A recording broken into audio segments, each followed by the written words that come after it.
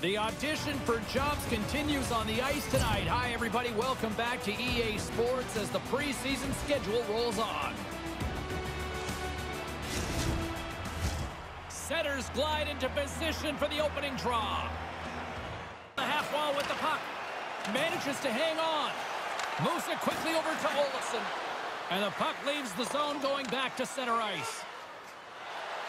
On the attack along the boards. Oh, they probably want to redo on that. Scores! Listen to this place. What a start for them. Get the game's first goal. Now they have to keep the press. The pass out front. Oh, and he keeps it here. Poked away. Scores! And they go back to back to light the lamp. The momentum in the game changes. Here's an odd man rush. It's a two-on-one. Picked up along the boards by Suzuki. Quick pass to Matheson. And he takes the feed. Moves the pass in front.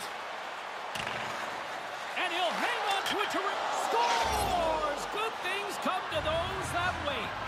Yeah, finally rewarded for all the work they did around the front of the net and in the offensive zone there. Finally able to punch through. Oh, man, you just love playing with a guy like this. The passes are hard and flat. They're right on your tape. I played with a couple of them. John Anderson back when I was with Hartford, and then Alexei Kovalev with the Rangers. They could draw. On the left wing. Sends it out in front. Oh, and he comes up with a stop. Nice lead pass from the goaltender. Buffalo's got a hold of the puck now. Here's a chance in front. He scores! What an opportunity and delivers!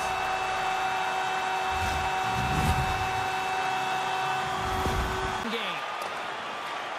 Picked up along the wall by Armia. Couldn't make the connection on the play. Can't find his man. The Canadiens ready to go on the attack. Scores! That's back-to-back, Ray. Well, the, the game has changed. Those two goals here really have changed the outlook.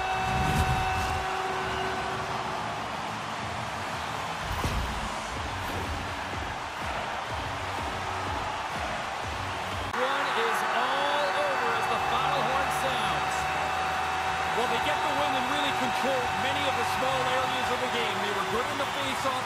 Their center ice position is such a strength for them.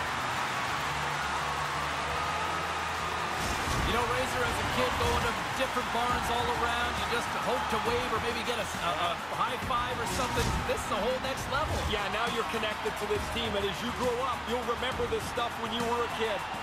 For Ray Ferraro, I'm James Cybulski. We'll see you next time we drop the puck.